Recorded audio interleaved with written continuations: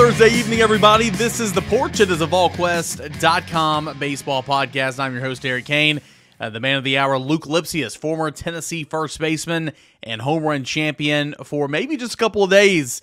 Uh, he can still say that he'll be coming up here in a matter of about 10 minutes or so. Big shout out to our friends over at Spivey King and Spivey LLP for making this podcast coverage possible here on the porch as Tennessee gets ready to go against Ole Miss this weekend. Matthew A. Spivey, J. Matt King, Richard A. Spivey, they are Tennessee fans just like you, and they can serve a huge purpose if you have a need down the line. Because if you have a problem, they can find a solution for you. TN Trial Lawyers, specializing in family law, personal injury, and criminal defense. 865, excuse me, 423 245 4185 for a free consultation or visit them online at Spivey King and. If you have a need, check out our friends over at Spivey King and Spivey LLP. All right, we have got uh, some things to get into here today, and Tennessee's getting ready to come back home. It's already home, playing a home game on Tuesday. It's going to host Ole Miss. Ole Miss coming off a series victory against South Carolina, number 20, I believe, at the time. South Carolina um, last weekend. And it's a series that Tennessee needs to get, no doubt about it. Um, I, I think I said this on the Mailbag podcast, and I mean no disrespect to, um, I mean no disrespect to to Ole Miss because I think it's a, a, solid group and it's off to a good start. But this is one of those series that you, you need to go ahead and take care of business with. I'm not saying you got to go out there and sweep them, but you need to win this series, at least two games to one. And really, next weekend when you host Georgia, you need to win that series as well because look what's coming up down the line. Of course, you still have series against uh, Vanderbilt, against Florida, um, LSU, and so on and so forth. I mean, it's the grind of the Southeastern Conference. So you need to take advantage of series like this, which I think are good and respectable teams. But you're better than these teams, and we'll get into that here in a little bit of a moment and tell you what comprises Ole Miss uh, in this baseball squad coming up this year. Real quick, let's look back on the Alabama series. Again, I wrote about it. I know it was about a week ago now, so it's not sent, no reason to spend a whole lot of time on it. But I think the biggest difference in Tennessee's series opening loss at, at uh, Missouri last year and Tennessee's series opening loss at Alabama this year. Obviously, Tennessee was swept by the Tigers last year. Tennessee uh, had a huge win in game one against Alabama and on Friday night, and then lost uh, games two and game three. I think Tennessee just got punched in the face against Missouri last year. I mean, they just got their brains kicked in, you know? This year, I felt like Tennessee, and again, no disrespect to Alabama because Alabama did some good things. I feel like Tennessee beat Tennessee. You know what I'm saying? Like Tennessee won on Friday. In in game two, Drew Beam could not find a third out in those disastrous second and third innings. Christian Moore made a couple boneheaded mistakes uh, in the field and, and then one on, on the base pass, or one boneheaded mistake, I guess. Luc will caught an error and a half here in a moment. I would kind of agree with that. Um, Tennessee couldn't hit with runners in scoring position both on Saturday and Sunday. Um, again, take take no take nothing away from Alabama because they went out there and won that game, and Gage Miller hit that home run on Sunday. But fact of the matter is, I feel like Tennessee got in Tennessee's own way over the weekend. So those things are correctable in my opinion. Um, what you need to be working through and what you need to be, you know, trying to find a solution for is that bullpen. And that's what we talked about in the 3 2 1 heading into SEC play. Who's going to step up? Who's got those defined roles? Because right now we don't know. Uh, Marcus Phillips has been a little bit up and down. Aaron Combs has been a little bit up and down. Chris Stamos has been injured. He's come back, and it was good to see him pitch a clean inning or two thirds of an inning on, on Tuesday. Um, AJ Causey is in the rotation. Nate Snead is in the bullpen, but he's a, a long relief. And it looked like he was kind of holding back a little bit on Sunday because trying to preserve some energy to not be so gassed there towards the end. And again, I wrote about it. We talked about it. Who you going to give the ball to in that situation? I don't know if Tennessee just has that answer right now. Whereas if Causey was in the bullpen, boy, what a time to bring in AJ Causey in that situation to go up against Gage Miller with a funky delivery um, late in that ball game with the game on the line. Shoulda, coulda, woulda. It, it is what it is, and Tennessee's got to find a way to work through it, and this weekend's going to be a big part of that. I do not know why these freshmen have not been throwing more. Matthew Dallas got in there at the very end on Tuesday, and I think that was good. I mean, his numbers, he's walked a lot this year, don't get me wrong, but um, he's not given up any runs to date. Schaefer has been a little bit more shaky and haven't seen him in a while. I I get it. You don't want to, I mean, if they're not ready, they're not ready but your bullpen needs some depth and your bullpen needs some options. And so these freshmen, Matthew Dallas and, and, and Derek Schaefer, and we know about Loy. They've used Loy a lot. We'll see if they use him in the SEC series this weekend. They've got to pitch for you. They've got to be readily available, in my opinion. So uh, we'll see if Tennessee can kind of continue to work through that. end of the day, it is a marathon. It is not a sprint. This is not football. When you lose a game in football, it's a big deal because you have only 12 of those opportunities. You lose a game in baseball, you have you have 30 more. You know what I'm saying? Now, you want to win series. Series wins, series wins, series wins, series wins. You'd like to have a couple sweeps in there for sure. But if you continue to win series, then you're going to be a pretty good ball team. And, um, you know, Tennessee should be in a good position to do that against Ole Miss this weekend. All right, uh, let's talk about some of these injuries. A.J. Russell came back, pitched 40 uh, pitches, two innings. If not for his own balk call, he might have got out of that two inning return at Alabama without allowing a run. But I thought he was fine. Good to get him back out there. Um, Tony Vitello did not name a starter for for Sunday's game. Again, going with AJ Causey on Friday and Drew Beam on Saturday. And, the belief is it's going to be AJ Russell again getting the start on Sunday and continuing to stretch out. I think he needs to throw about 60, 65 pitches this week, in my opinion, as he continues to stretch out. Now, you don't name him as the starter because if you're in a tight spot like you were Sunday, late in that Sunday ball game in Alabama, and you're trying to come on and win a baseball game, you'll have AJ Russell at your disposal to turn to if needed. And I think that's good. But also, he needs to stretch out. He has got to stretch out because he has got to get back in the rotation for you full time. And so I think it'd be in Tennessee's best interest to go ahead and start him on Sunday and get, let him go about you know 60 to 65 pitches and we'll see and I think that's what's going to happen but you never want to show all your cards before they're dealt you know what I'm saying and I think that's kind of what Tony Vitello is doing here knowing that he's got that option he's got that ace in his back pockets literally if you want to throw him out there late in a Friday late in a Saturday game but I think it's in the best interest for Tennessee if AJ Russell pitches 65 pitches on Sunday. So um, I think that's what's going to happen. We'll see exactly. I mean, of course, if he's you know not getting rocked, uh, we'll see exactly how that uh, transpires. Marcus Phillips exited Tuesday's game. And uh, in conversations with some people and talking with some people throughout the week, think that uh, he's going to be okay. Nothing long term, but I doubt that he uh, will be available this weekend. Um, it's it's day by day, but I would assume that he's probably not going to be available this weekend. So there's another right hander that has arguably the best stuff on your roster. Hasn't transpired yet, but you might not even have that option this weekend. So that's kind of the update there. Dalton Bargo. I was told Sunday of last weekend that he's going to be okay. It's a mild strain, minor strain in your hamstring, but with a hamstring injury, if you rush it back, you're gonna you're gonna hurt yourself. You're gonna try to take one step forward, you might take two or three or four steps back, and so Got to be careful with a hamstring. Um, think he was available to pinch hit on Sunday. He was available to pinch hit on Tuesday. I think he'll be available to pinch hit on you know this weekend.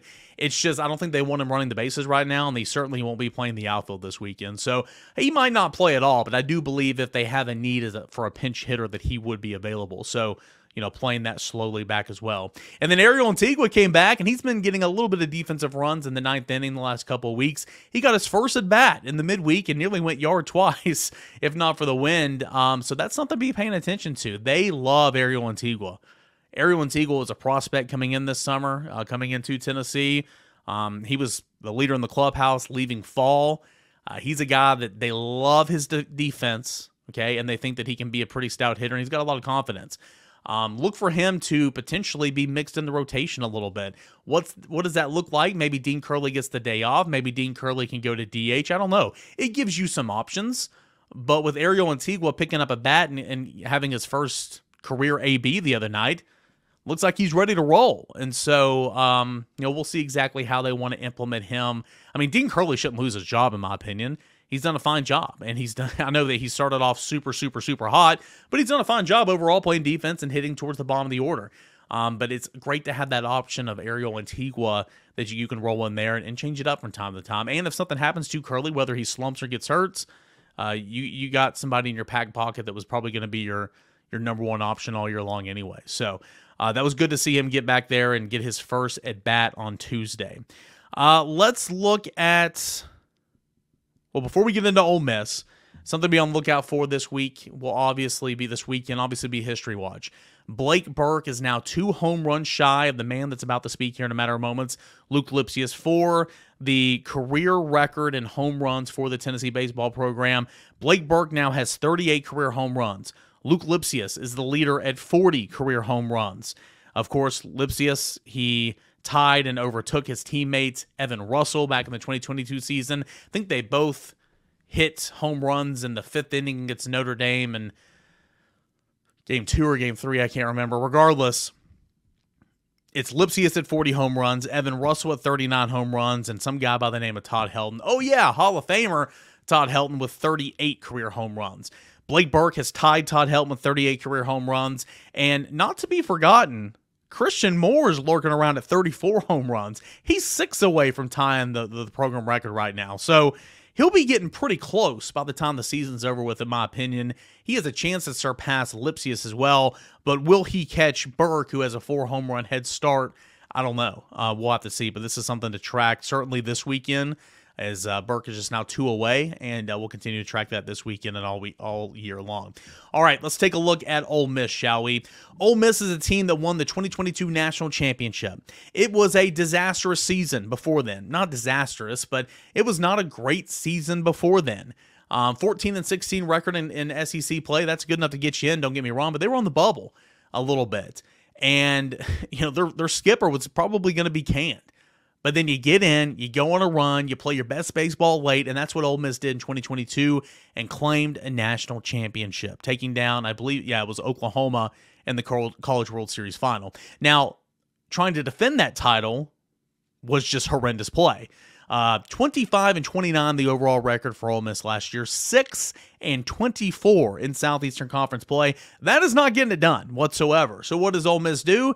They hit the transfer portal. Just like in football, the baseball team hit the transfer portal and built this team, these these starters specifically, um, getting a getting, getting more than a handful of some impact starters to come in via the transfer portal. Um, what's that look like? I'll tell you here in a moment. Ole Miss preseason pick six in the SEC West and um, had nobody named to the preseason all SEC squads, but of course did take down South Carolina last weekend and is a fresh off a Tuesday victory over number 25 Southern Miss um, on the road on Tuesday. So again, much like Alabama, Ole Miss just got done playing Southern Miss. Tennessee needs some better competition in the midweeks, in my opinion, and in non-conference play. Um, so Ole Miss coming to town, and the rotation for Ole Miss has taken a beating so far this year. Uh, you've had JT Quinn, who was the opening day starter. Um, he's been dealing with blisters on his throwing hand, and then he strained his oblique last week when he was actually in the bullpen. Uh, point is, he's been dealing with injuries for a while. Now he's going to be out indefinitely. Hunter Elliott is still recovering from Tommy John surgery that he had in May of last season. So is Xavier Rivas. Uh, right-handed pitcher Riley Maddox has been pretty solid in the midweek, but um, th- this rotation right now is relying on a junior college standout, a former junior college standout, and a transfer from Coastal Carolina. The former JUCO guy is Gunnar Dennis. Started as the Saturday guy, has emerged now the Friday night starter.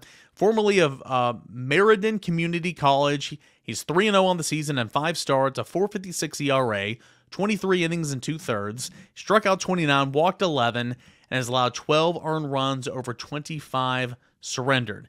Liam Doyle is a lefty, another lefty, and he'll pitch on Saturday. So Tennessee's going to see back to back lefties. Uh, shifted the rotation after beginning the campaign in the Ole Miss bullpen. He started each of the past two Saturdays. He's got a 2 0 record, six appearances, ERA of 395. The former Chanticleer has totaled 13 and two thirds innings pitched on the mound, 27 strikeouts to four walks. It's pretty good. The Sunday starter, it's already been announced for Ole Miss, is going to be a righty by the name of Grayson Saunier.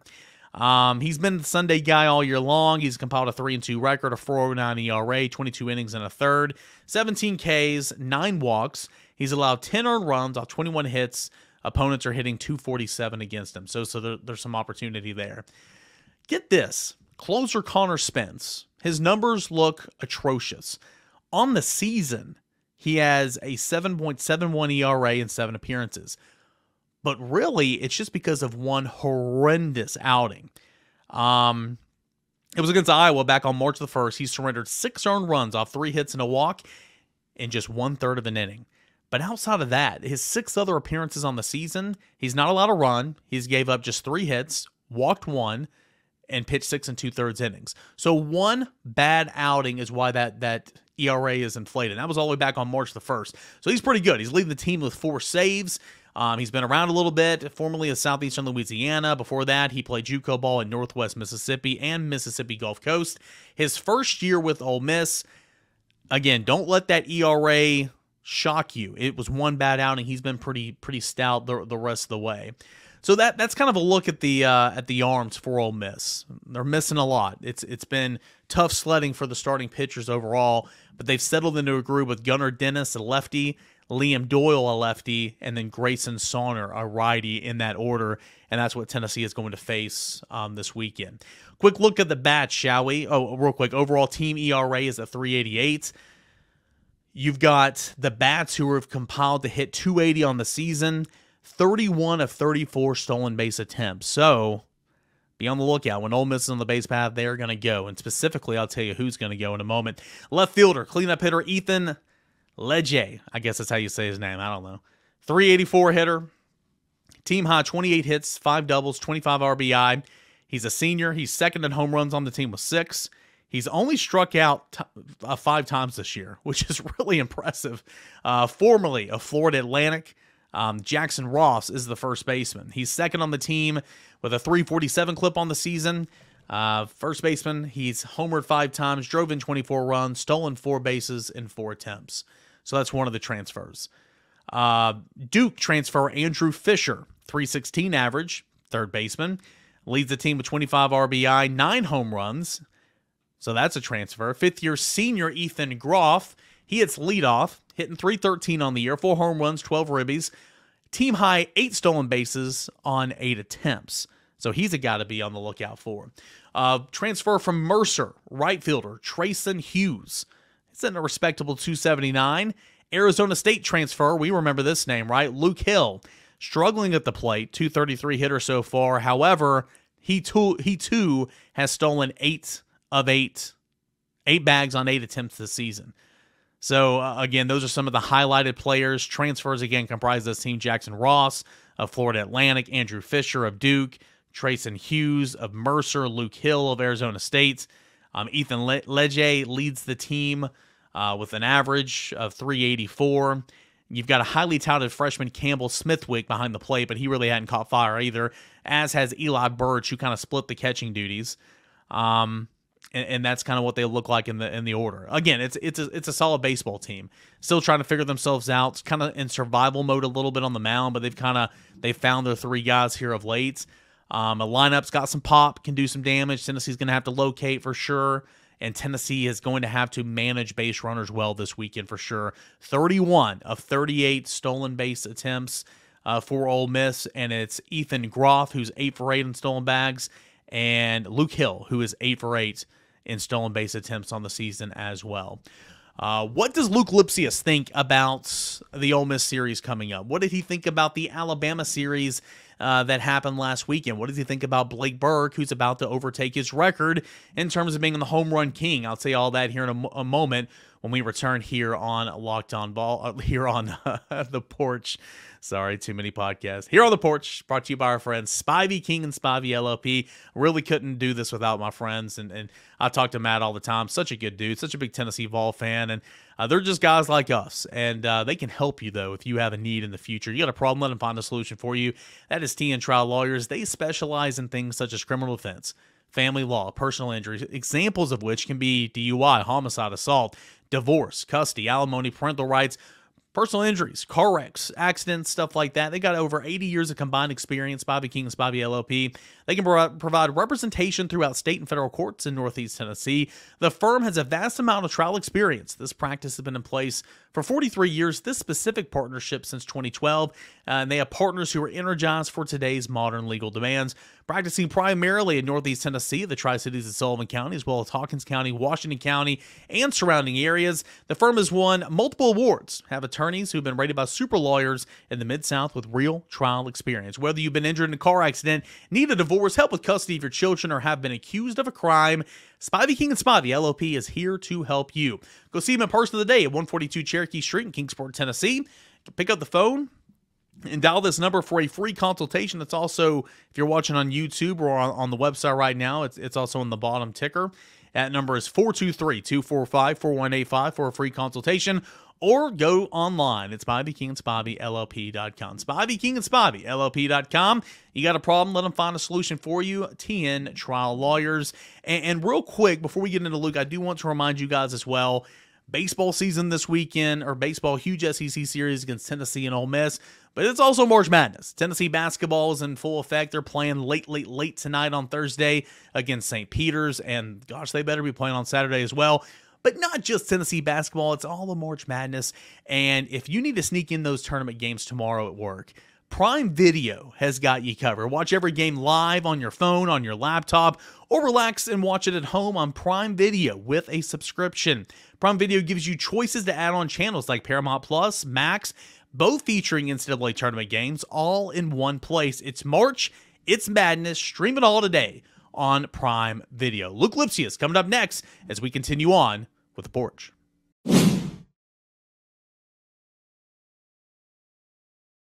Luc, not the start in SEC play uh, that Tennessee obviously wanted, that that fans wanted.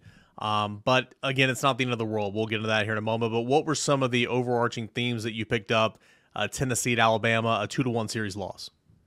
Yeah, you know, you come out on Friday and you play such clean baseball, offense and defense, and it sets the tone. So, um, coming out of the gates with a, such a strong win like that, you'd think that it would carry over into the next few games. But what we saw was a complete reversal that next game. The only person who really seemed like to have a, a good, good game was was Christian Moore.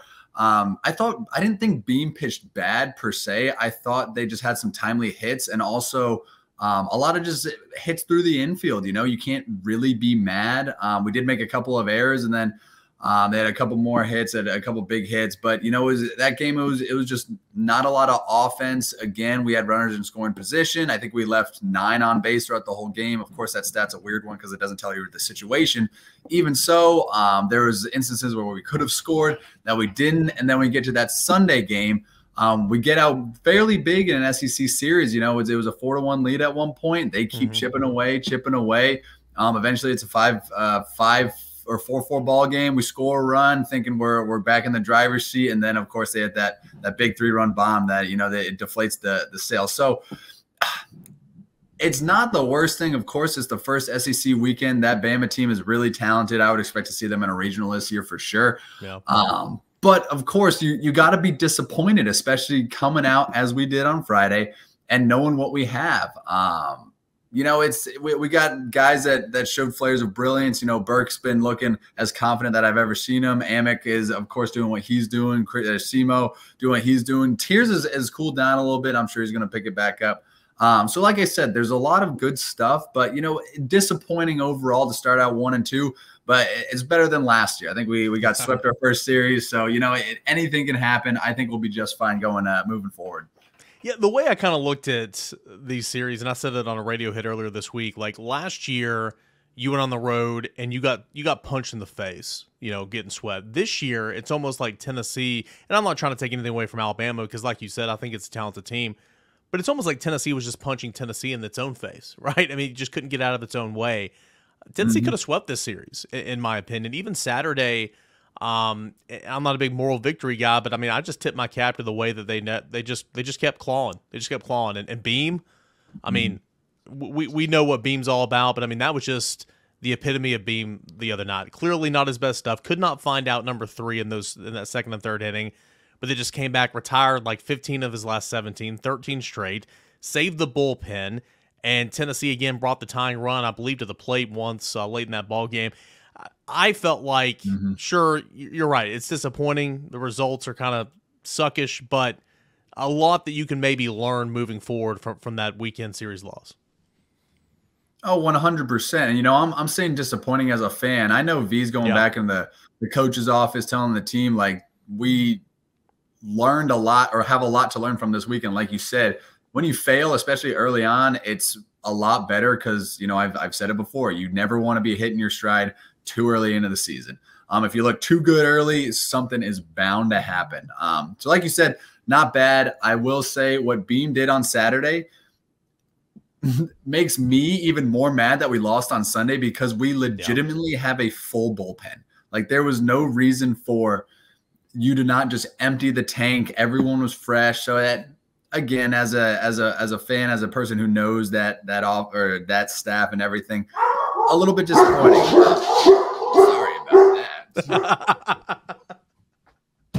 um, but yeah, so I, I mean, like you said, good stuff to learn from. Um, but again, I, I, I, just wanted more. You know, I wanted more out of that out of the first series, especially that Sunday game. Yeah, no doubt. And uh, you know, a lot of people were frustrated with Tony Vitello, Frank Anderson because they didn't take Nate Snead out of the ball game a, a batter too early. I mean, look back at the Notre Dame you know loss in Supers a couple years ago with mm-hmm. uh, your team. I mean, it's easy to say, oh, you should have done this, should have done this.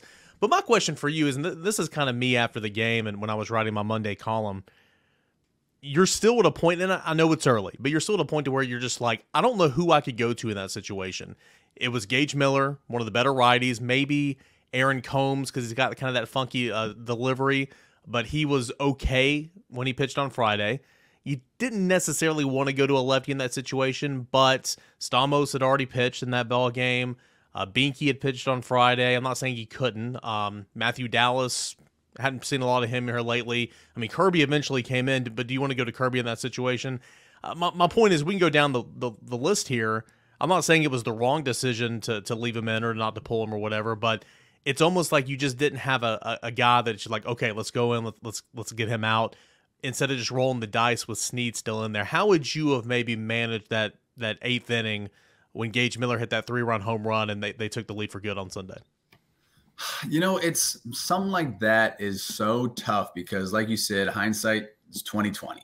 Um, and again, just like that 2022 Notre Dame game, you got a guy that's that's pretty much rolling. You know, he gave up a few runs, but for the most part, doing well. Um, and then of course, you know, you you let a couple of guys on. Usually, when that second guy gets on, is when you need to yank them. Yep. Because I mean, just knowing baseball, it's like First guy gets on, you're like, all right, let's see if you can get this guy out. Second guy gets on, you're like, yank him. But like you said, what are we going to do in a righty righty matchup, right? We got the lefty lefties covered for the most part, but this is where it becomes like what we've been talking about all season. What do we do with Causey, Russell, Beam, Snead? What do we do? Because we want a Causey type arm in the bullpen. Yeah. But, you know, I'm going to kind of jump forward to probably what we were going to talk about. He's going to stay in that Friday role until, you know, we stop or we stop winning. He's just doing so well. So, like you said, um, I I also think that the roles that we've been that we put been putting Snead in early on in the season has not helped him up to this point because last weekend was really his first weekend of getting, you know, valuable innings, we'll call them, you know, not those midweek innings, but that actual um, weekend long relief appearances, and you know he he looked great, but you know in in hindsight we should have pulled him. But again, like who, who do we put in? We're gonna we can roll the dice with Kirby, who it, he is a veteran, but again, like you want that guy in Causey or Russell or whoever you you bring him in, you know he's gonna get now. Um, so I, I think that they're gonna they're gonna dabble with stuff, especially now with Russell coming back uh, mixing and matching. I, I would still expect to see Causey in that Friday role, but you know, you never know. You never know. Yeah, it's it's um it's going to be Causey on Friday. It's going to be Beam on Saturday. Tony said TBD on Sunday. Mm-hmm. If, if it's a close game on Friday, Saturday, I could see Russell coming in to maybe mm-hmm. pitch an mm-hmm. inning or two. But again, he needs to. I was talking about this on Tuesday night. Like he needs to throw 65 pitches, in my opinion, this weekend. Like they need to continue to get him out. So, in yep. my opinion, he's going to be rolling out there on Sunday to start again. But of course, we'll keep tabs on it.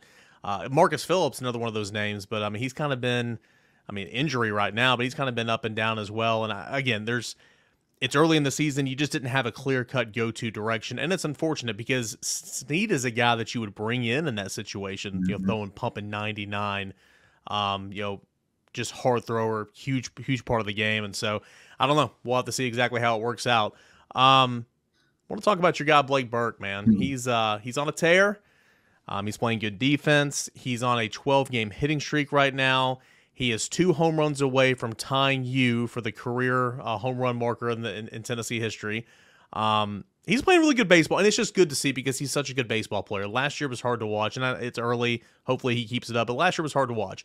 Good to see him swinging the bat, and like you said earlier, being confident right now.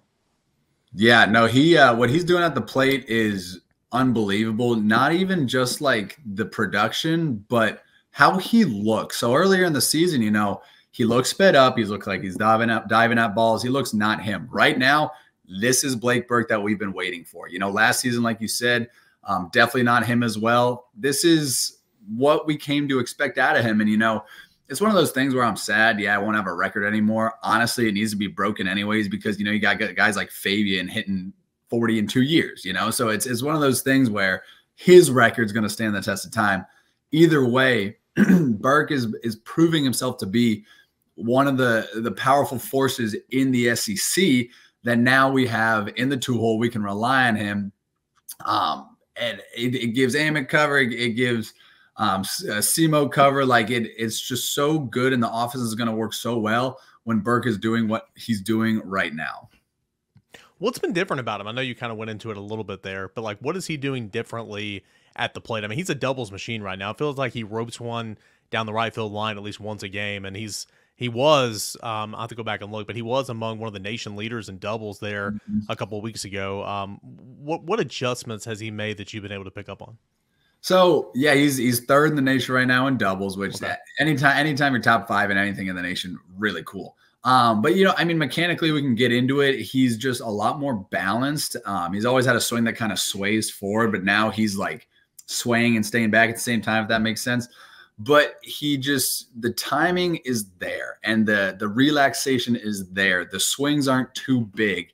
You can tell if a guy is going good when it doesn't look like they're swinging hard. Like all of his homers thus far um, all of his doubles that he's hitting he is literally doing his thing flicking the bat like he can and it's going over. It's, it's being hit super hard. Um, that's how you know he's going well. So it's a, a big switch from the beginning of the year where you saw him kind of or muscling up, timing was off, diving towards the blah blah blah, all this bad stuff. You see not as as firm contact. Um, you know, he still gets into one every every once in a while, but now it's it's a lot more consistent. And I am loving what I'm seeing out of Burke. Let's go back to that game two when Tennessee lost uh, six to three. We're down six nothing at one point in time. Had the tying run there in the ninth inning. Um, Christian Moore had probably one of the most unique games I've ever seen. Offensively, he started four for four, finished 4 mm-hmm. or five, had a home run, drove in a run. Um, he looked really good. Uh, defensively, he had an error that that ultimately cost it a run. I think he had a defensive play where you can't call it an error because it wasn't. It was a play well to his right. He made he did the hard part, made the stop, but just couldn't couldn't get a grasp on the baseball to throw him out of first base. And then that inning kind of spiraled after that. Um, he had a base running mistake. Let me ask you this real quick sidebar. I don't want to get you in trouble or anything, but is there a philosophy with Tennessee baseball where you just run? Because I feel like the, the rule is if the ball's hit in front of you, you stop. But like SEMO did at that time, and then of course you saw it in the midweek game as well, and you've seen it in years past. So I was holding in screams when I, I, don't. I think it was just one that game, but then the very next game we did the same thing. Unless it was two that game, I can't remember. I remember two instances. One of them was Robin, and the other one was Simo, yeah. where where where balls hit to your right at second, you go back. You go back. That's you like you practice it every single day. Um, I am sure V and E are wearing them out this week on that specific instance because no, you should you shouldn't go. Um, the only time you're on like all run, of course, two outs, but then also there's a contact play where you're on third, where if a ball is hit on the ground, then you start running, blah, blah, blah. I guess they thought they were on contact. I don't know. But needless to say, those two blunders are not only just getting you out of better position on the base paths, but they almost deflate the offense. You know, when you see that happen, it's like, crap. Like we're making stupid mistakes because that whole team knows that's what it is. It's a stupid mistake. But yeah, no, that we don't get taught to run into outs. I promise you that. I didn't think so, but like it's just, sometimes it's just it's so puzzling. Um, I don't know if you watched the Tuesday game, and if you didn't, I'm putting you on the spot. But Dean Curley was at third, infield was in, ball was hit to third, he hmm. takes off. It's yep. like, what are you doing? But yeah, I mean, he got in a pickle and he ended up scoring. So that's that's the contact play. Whenever okay. there is um one out or you know two outs is obvious. Whenever there's one out, it's a contact play. It's basically you start running, you make them the defense make a play, which you know it ended up working out. That runner on first goes to second, so that way it's still two outs, runner in scoring position either way. You know, um, but like you said, the reason why we do it is for plays like that. When the error happens, when an errant throw happens, you end up getting a run out of it instead of just you know uh, a runner on third with two outs, which is the same as runner on second with two outs. Yeah, I mean, I, I, I get the thought process of, of making them make a play. I get that. Still, it's it's sometimes tough, but it did work out the other day on Tuesday. So to your point, it did work out. Back to Christian Moore, fantastic game on Tuesday. I really like him in the leadoff spot. He's you know he's not getting as many hits. He's still hitting a great average, but maybe not getting as many hits as he would in the heart of the order. But he's he's giving good at bats. He's taking. He's being patient, like what a leadoff hitter should be was four for five in that Tuesday game, but defensively in other areas of the game, it was kind of a bad game. So as a player, I'm sure you've had games like that before. How do you kind of view your performance after a, play, a, uh, a game like that where you did a lot good, but you also made a couple of mistakes that, that kind of hurt your team? Yeah, you know, the good ones will still be mad. Um, and so I, I, think Simo would be mad because he is a he's yeah. a competitor, he's a gamer. So he's not so much going to look at his four for five day with a homer. He's going to say, you know, I made those two, you know, errors, one error and a half um, that cost us a few runs that could have been the difference. And as a player, you got to shake that off because you know you have another game the next day, um, especially against a really good team. So you're going to be able to make more plays. So the the best will be mad at themselves, but also know, hey, this is what I did, what I could have done better, blah blah blah. Learn from it and do better the next day. He's fun to watch, man. Him and Burke, of course, Beam and, and Billy. I mean, the Dreiling maybe. Tennessee's going to have a lot of a lot of early names called oh, this yeah. summer. No, it's it's not it's and that's why nobody's worried because yeah. of the the guys we got are going to be just fine. Yeah, yeah, no doubt. Uh, want to ask you, get your thoughts on uh, real quick. AJ Russell. It was brief, forty pitches, kind of a longer bottom or top of the uh, third inning. Thought he might come back out for the third, uh, but ultimately two innings, forty pitches, 28, 29 strikes, something like that. Um, if not for a balk, uh, his balk in the first inning, he would have probably pitched a spotless uh, two innings of work. But I had to start somewhere. What do you think about AJ Russell on Sunday?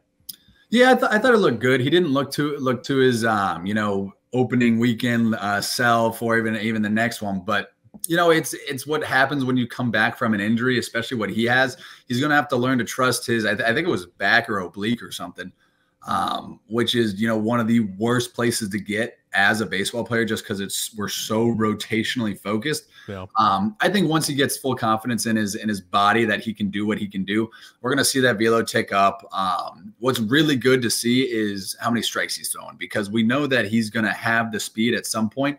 Um, but if he's throwing strikes, like he's going to be so good. And and and, and again, I thought it was a, a good outing, especially for a comeback one. I would have liked to see you know, three innings of work. Um, but again, he's going to be on that pitch count. So it is what it is. Like you said earlier, they got to start run, running them up there, um, get them back up to, to speed. So um, this weekend will be extremely interesting with a with a good Ole Miss ball club coming into town, you know, and it's uh it, will be super fun to see how packed Lindsey Nelson gets um, for their first SEC weekend this year.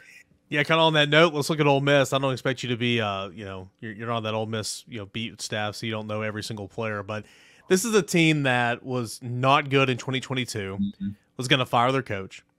Goes on a run, kind of like what Tennessee did last year. Goes on a run, gets, you know, starts winning games, and they they win the whole dang thing, um, which is really really cool. They they bounce they don't bounce back. They come back in 2023 and have a horrendous season. Mm-hmm. Horrible year. 6 and 24 in SEC play.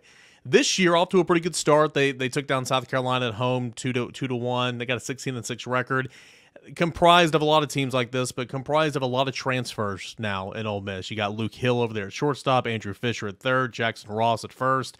You have uh, Treyson Hughes in, in, in the outfield. Um, they got a really talented young catcher. They got a fifth year senior in center field. Uh, they got some dogs in the rotation. Um, kind of, again, kind of a well rounded Ole Miss club. What what have you I don't know if you've seen them play at all. What do you know about Ole Miss? Yeah, so what I know, I mean, they're a like like they're just a good team. You know, they they don't do anything extremely well. They don't do anything extremely poorly, except maybe their their defense can can get up a little bit. I think they're feeling like a 970 clip or whatever it is. Yeah.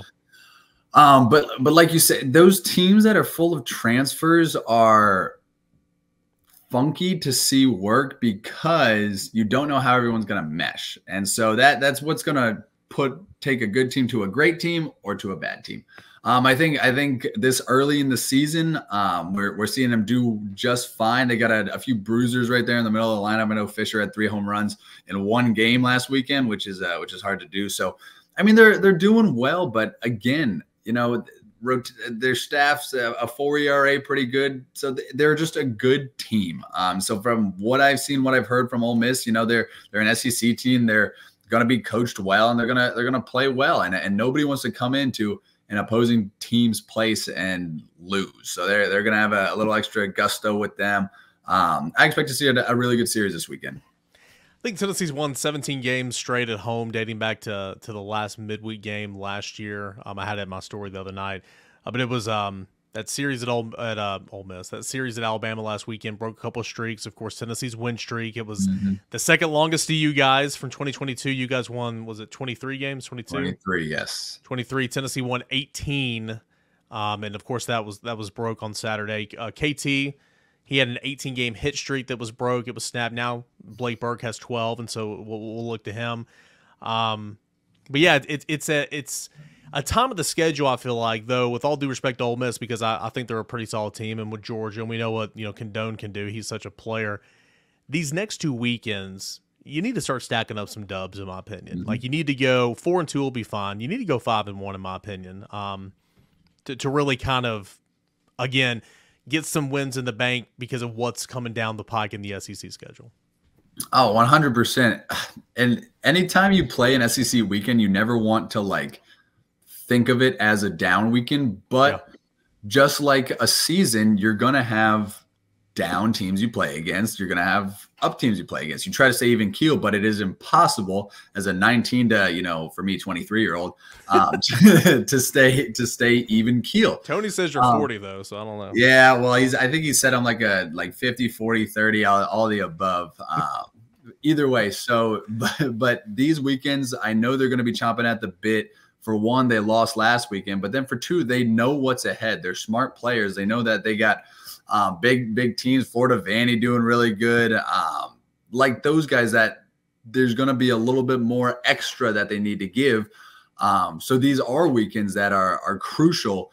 Um, and just to see how you bounce back from a series loss, um, just to see how you start maneuvering that bullpen if people start filling into roles. Um, I was going to mention it seems like what they got going on on offense um, as far as the the eight uh, starters in the field too. They've they've kind of settled into their roles. Everyone knows about when they're going to play.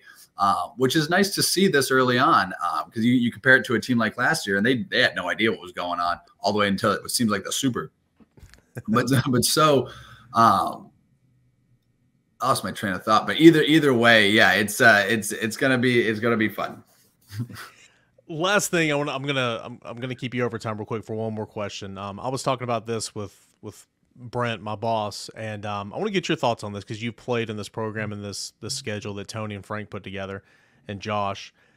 Should Tennessee have a better non-conference schedule? Like I get non-conference because I mean you know what's coming up. It's the SEC. It's gonna be tough. However, outside of that opening weekend or you know uh, one of those tournaments you guys go to or showcases, it, it's a lot of run rules. It's a lot of gimmies, and it's a lot of let, let's just play everybody, which is good. But also because of the lack of competition, maybe it puts you in a bind like it did on Sunday when it's like, okay, who do I give the ball to right now? Like, I, I, I don't know because you hadn't really been tested. Does that make sense? Should should the scheduling get a little tougher, at least you know for a weekend here or there before SEC schedule?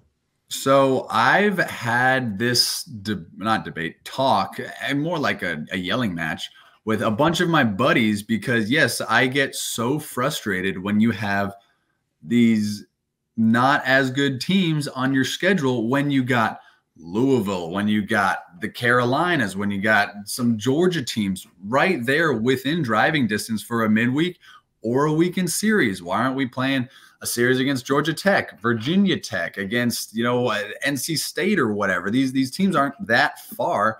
Put them in in our in our pre-conference schedule. Put them in in a midweek, um, and I think you would see a little bit better play out of us because, like you said, it's so easy to sandbag a midweek because you're going to go out there, you're going to try to get your hits, and you're going to try to get off the field. That's, I mean, we're going to call all it is what it is. You're trying to play six innings, and you're going to sit your sit your butt on the bench. that's not good when you got a, a team like a Florida or like a Vandy coming up, you know, and, and you got to lock back in. You'd rather stay locked in because it's it's easier to to stay locked in than to get locked in. So yes, I've I've I've always thought that they need to put in stronger midweeks um, just to to make just better baseball too. It's better for for Tuesday TV watching, anyways. Yeah, yeah, no doubt about that. And uh, again, I don't make the schedule. Maybe, um, maybe it's tough. Maybe nobody wants to play Tennessee, which is understandable. But also, you look at, you know, Florida, who they're playing in the midweek, and, and some of these other teams. I feel like it can be done. Mm-hmm. Anyway, good stuff, Luc. Always appreciate it, man. And uh, hopefully Tennessee bounces back. We got some more uh, good things to talk about next week. Yes, hopefully. Great stuff there, as always, from my friend Luc Lipcius, former Tennessee first baseman, home run champion. Uh, always giving a unique perspective, a player's perspective uh, from a guy that's been in this locker room, been coached by these coaches, and of course have played in this league. He's played Ole Miss as well, and uh, I think he's jacked up and ready to see what Tennessee can be all about this weekend over at Lindsey Nelson Stadium. Tennessee and Ole Miss Friday night at six o'clock, six o'clock, six thirty. I've got the schedule right here. Why don't I just look and make sure? This Friday, tomorrow, six thirty, Friday night, Saturday at six o'clock, and Sunday at one o'clock. Every game is going to be streamed on the SEC Network Plus, and you can listen on the Sports Animal whenever basketball is not happening and at utsports.com. Guys, I appreciate it. Thank you so much for joining me here on the porch. Big thank you to our friends Spivey King and Spivey LLP. Uh, for making all of this possible here on the porch for the second straight season. We'll do it again next Thursday, but before that, we got to see how Tennessee fares against Ole Miss. Here's for the sweep this weekend Tennessee and Tony Vitello and the boys. Appreciate you guys here for listening and watching us on the porch.